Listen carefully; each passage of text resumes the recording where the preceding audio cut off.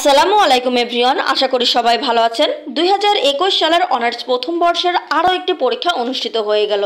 তো আপনাদের আজকের কার পরীক্ষা কেমন হলো তা অবশ্যই আমাদের কমেন্ট সেকশনে যে কমেন্ট করে জানাতে ভুলবেন না। আর পরবর্তী আপনাদের কোন সাবজেক্টের সাজেশন প্রয়োজন তা কিন্তু অবশ্যই আমাদের কমেন্ট করে জানাবেন। কেননা আপনাদের কোন সাবজেক্টের সাজেশন প্রয়োজন তা আমাদের জানালে তবেই আমরা সেই সাবজেক্টের সাজেশন আপনাদের দিতে পারব। তবে হ্যাঁ এবার ব্যস্ততাময়ের কারণে আমরা কিন্তু সকল সাবজেক্টের সাজেশন দিচ্ছি না। শুধুমাত্র আপনারা যে সাবজেক্টের সাজেশনের জন্য আমাদের বেশি কমেন্ট করেছেন, আমরা সেই সাবজেক্টের সাজেশনই শুধুমাত্র আপনাদের দিচ্ছি। তবে হ্যাঁ আপনারা যদি আপনাদের সাজে মানে সাবজেক্টের নামের সাথে বিষয় কোডটা উল্লেখ করেন, তাহলে বিষয়টি আরও বেশি ভালো হবে। আশা করি বিষয়টি বুঝাইতে পারছি।